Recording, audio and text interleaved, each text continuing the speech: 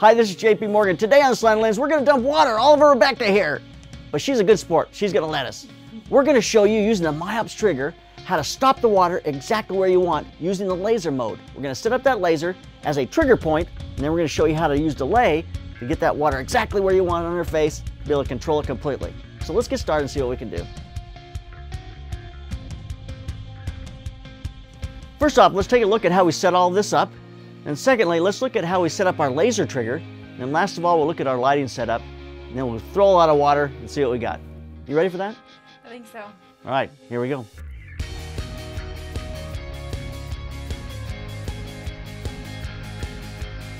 So here's our setup. Blue sky backdrop in the background, a little picket fence in the foreground. We took one from that we got from uh, Home Depot and we took two of them and put them together so there's more pickets in it. Look kind of cute. And then we put that on C-stands be in front of her. And then she's sitting on a stool on apple boxes in a small plastic kiddie pool. That's our setup.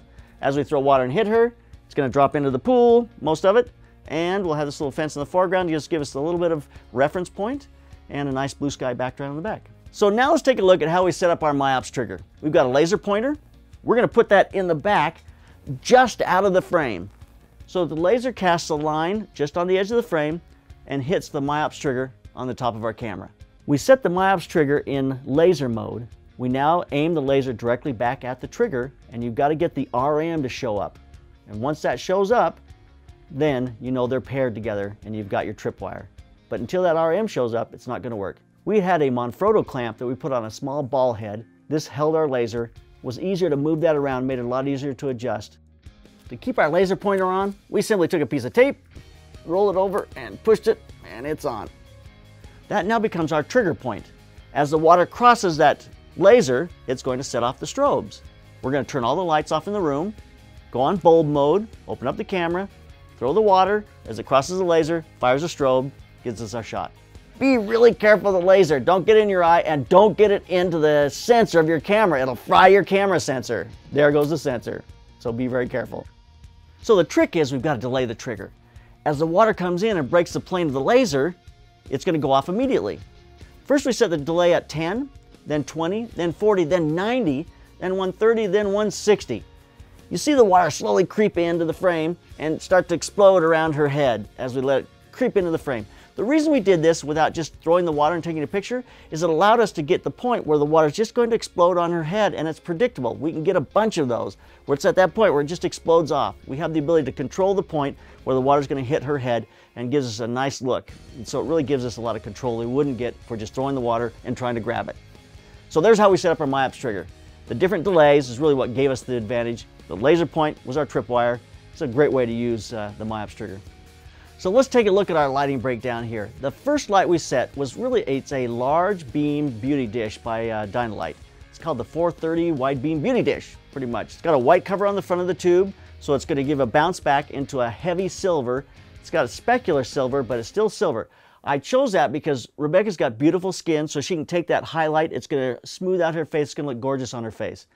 We did slide a flag underneath it to take some of the light off from the fence. So flag underneath gives us a nice highlight on her face, takes a little bit of the hot, hotness off from the white fence in front of her, but makes a beautiful light. There's our first light. That's our key light. Secondly, we got water splashing here. So we need to have a nice rim light from behind. So we set a Baja B4 on the left-hand side. It's gonna catch the water from behind her, and it's gonna give us a nice rim light from behind. Last of all, we got a single light on our background. We've got a B4 on our background. But we put a large piece of Rosco diffusion on it, I use a stick to kind of hold it up to be able to spread it out. And when that light hits that Rosco diffusion, makes a large source, kind of climbs up the bottom of the background, gives us a nice glow from underneath. So there's our three lights. We've got a beauty dish up front. We've got a Baja B4 with just a reflector on the camera right side, give us a nice rim. And then we've got a nice light on the background. So three heads. To trigger our strobes, we're going to use our Pocket Wizards. We've got a Pocket Wizard trigger plugged into the MIOPS. When the MIOPS trigger goes off, it's going to fire our strobes. Each of them have a Pocket Wizard on them. I plugged the Canon TC80N3 into the Mark III. I put the Mark III on bulb mode. Then when I hit the button on the TC80, it opens up the shutter. When I release the button, it closes the shutter. Last of all, on our Bajas, we set all of them on T mode. It's a mode of the Bajas which is a short flash duration, I mean, the shutter speed will stop the water on some level, but it doesn't really stop the water. It's the flash that stops the water. The shorter the flash duration, the more it's going to freeze the water. So we went to T mode, we went to T2, which is one of the shortest flash durations. On some of the heads, we did a T3, but that's a very short flash duration.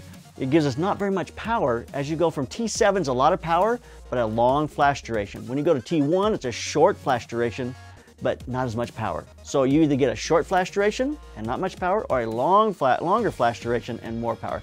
So you kind of have to balance that. We went to T2 and T3 on most of them. I think it was T2 on the ones on her face, T3 on the ones going to hit the uh, water from behind, and that really froze the water and gave us a great look. So that T mode made a huge difference. If we just gone regular strobe mode, the flash is going to just let everything blur and it's not going to look near as nice. And we wanted to have that crisp, kind of frozen water in the air and that look as it splashes on the side of her face. So that's why I went to the T mode.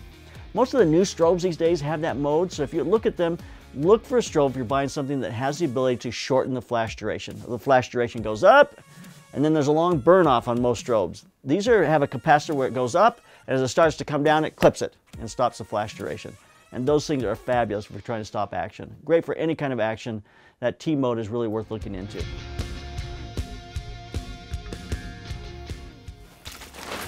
This has been fun! I mean, why wouldn't it be? We got a short flash duration on our strobes. We got a MIOPS trigger with a great laser that's been able to trigger our water every time it goes through. It's been fabulous. This is a great setup. That MIOPS trigger really made it happen for us. So I learned a lot today. I learned a lot about strobes. I learned a lot about slowing the water down and giving us the time duration.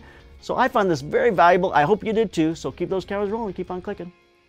Hey, the month is not ended yet. You can still win a light blaster with a studio adapter and great gobos or one of three business coaching classes. Change your business. Go to theslantedlens.com. Sign up today.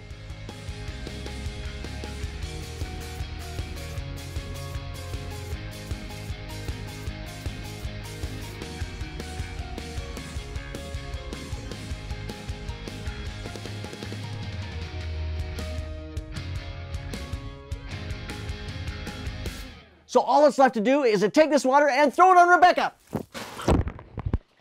Are you kidding me? Water's gonna be flying everywhere. We're watering the whole place. Keep those cameras rolling. Keep on clicking.